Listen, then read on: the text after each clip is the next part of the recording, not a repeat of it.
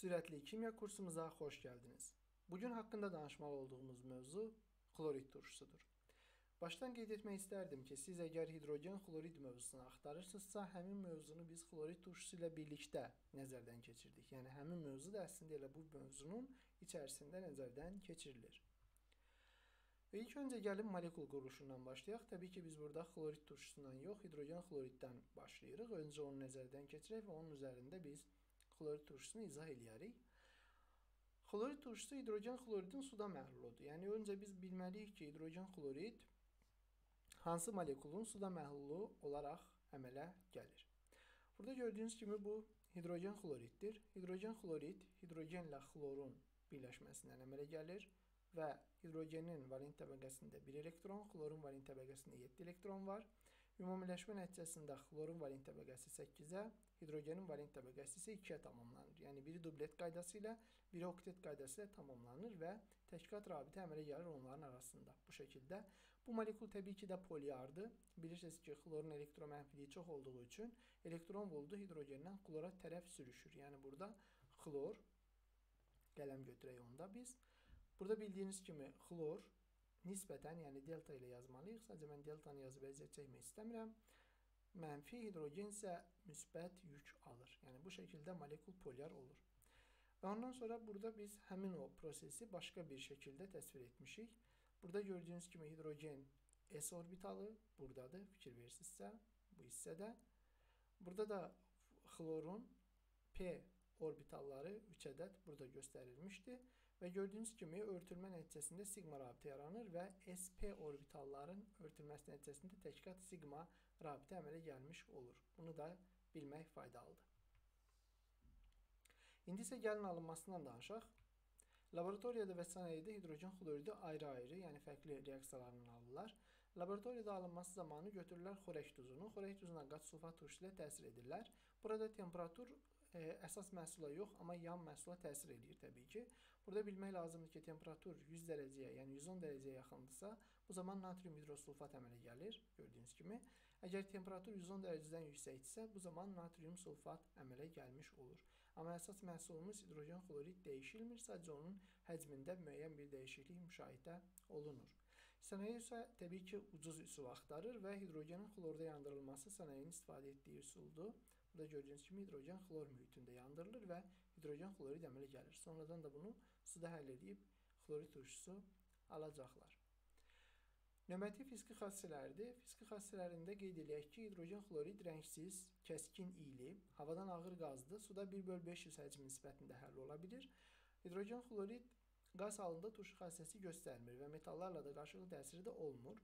Lakin üzvü sintezdə onu qaz halında tətbiq edirlər. Məsəl üçün, belə deyək, doymamış birləşmələrin molekuluna xlor əlavə etmək lazım gəldikdə hidrogen xlorid o şəkildə tətbiq olunur. Yəni xlorid turşu şəklində yox, məhz o şəkildə. Burada isə suda həll edilməsi ilə 40%-ə qədər qatlığı olan məhlulunu almaq mümkündür.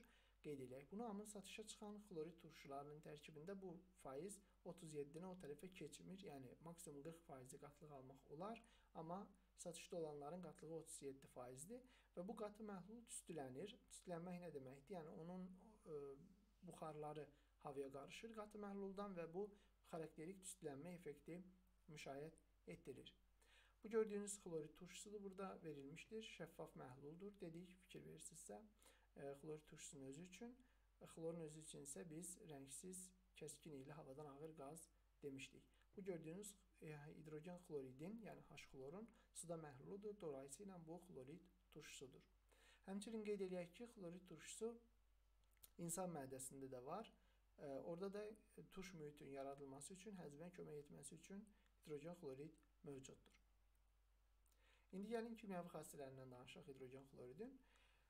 Öncə qeyd eləyək ki, biz artıq hidrogen xloriddən yox, xlorid turşusundan danışırıq. Bu kimyəvi xassələr əslində xlorid turşusunun kimyəvi xassələridir. Deməli, metallarla reaksiyaya girir və hidrogen ayırır. Bu, bir çox turşulara xarakterik olan bir reaksiyadır. Eyni şəkildə əsasi oksidlərlə reaksiyaya girir və duz əmələ gətirir, bir də su ayırır. Bu da yenə təcrübli bir reaksiya deyil. Əsaslarla reaksiyaya girir və duz əmələ gətirir, su ayırır. Bu da təcrübli bir reaksiya sayılmır. Və burada gördüyünüz kimi gümüş nitrat suda həll olandır. Ona xlorid turşusundan təsir edildiyi zaman gümüş xlorid çöküntüsü əmələ gəlir və nitrat turşusu alınır. Digər e, reaksiyamız isə amoniakla hidrogen xloridin reaksiyasıdır. Buradan amonium xlorid əmələ gəlir. Bu reaksiyanı maraqlı edən odur ki, reaksiya nəticəsində əmələ gələn amonium xloridin kristalları duman şəklində və ya tüstü şəklində müşahidə olunur. İndi ona aid bizdə şəkil var. Həmin şəkili göstərəcəyik sizə də və bu da çox maraqlı bir effekt yaradır, xüsusi laboratoriya təcrübələri üçün. Burada bir də biz hidrogen xloridin müxtəlif oksidləşdiricilərlə oksidləşməsini görürük. Buna aid biz az öncə bir iki reaksiya daha nəzərdən keçirdik digər video çarxımızda. Həmin video çarxları da izləməyinizi məsləhət görürəm təkrar olaraq. Və burada gördüyünüz kimi xlorid turşusu reaksiya güclü oksidləşdiricinin qarşı e, güclü oksidləşdiricinin təsirindən kalium xloridə, xrom 3 xloridə, xlora və suya çevrilir. Bu şəkildə buradan da xlor alınmış olur. Həmçinin burada da bir başqa oksidləşdirici verilmişdir. Kalsium hipoklorid. Bu kalsium hipokloridi biz əhəng, xlorlu əhəngin, bəli, xlorlu əhəngin tərkibindən tanıyırıq. Ona da xlor turşu ilə təsir edildiyi zaman kalsium xlorid, xlor və su əmələ gəlmiş olur. Bu da mənim az öncə haqqında danışdığım yuxarıdakı reaksiyadır. Bu reaksiya, işarələyək bu reaksiyanı. Bəli, bu reaksiyadır. Burada gördüyünüz kimi amoniak qatı amoniak məhlulu ilə qatı hidrogen xloridi məhlullarının ağızları bir-birinə yaxınlaşdırıldığı zaman bu şəkildə bir tüstü effekti müşahidə olunur. Təbii ki, burada tüstü şərti mənadadır, çünki o tüstü deyil.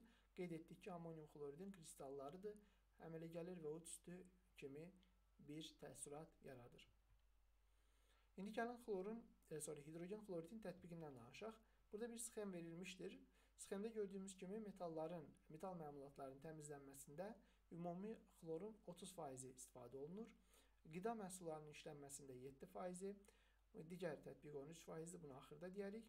Farmakoloji preparatların istehsalında 4% hidrogen xlorid tətbiq olunur və müxtəlif e, kimyəvi proseslərdə, yəni sənaye proseslərində reagent kimi isə 46% tətbiq olunur. Gördüyünüz kimi, yəni xlorun müxtəlif tətbiq sahələri çoxdur və burada ən çox gözə çarpan metalların təmizlənməsi və e, qida sənayesindəki hidrogen xloridin daha doğrusu tətbiq sahələridir. Lakin burada görmədiyimiz 46%lik bir tətbiq sahəsi var. O da çox şaxəlidir. Onun haqqında da biz e, az öncə bir neçə cümlə ilə məlumat vermişdik. Beləliklə bu video çarxın daha sonuna gəldik. Qeyd eləmək istəyirəm ki, bu video çarxlar çox qısa şəkildə hazırlanır və Məqsəd odur ki, sadəcə orta məktəb proqramının mövzuları nəzərdən keçirilsin abituriyentlərimiz üçün. Əgər sizi xlor haqqında və ya hidrogen xlorid haqqında və ya digər birləşmələr haqqında daha çox məlumat maraqlandırırsa, kanalımızdakı video çarxlardan, həmçinin səhifələrimizdə gündəlik olaraq paylaşılan məlumatlardan yararlana bilərsiniz. Diqqətiniz üçün təşəkkür edirəm. Sağ olun.